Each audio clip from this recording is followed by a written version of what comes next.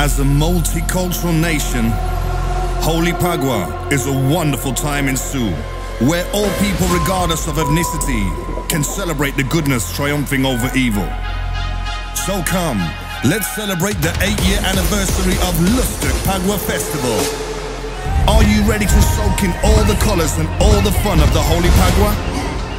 March 21st at the Boulevard Anton Drachtenweg. We are the pioneer. We listeners.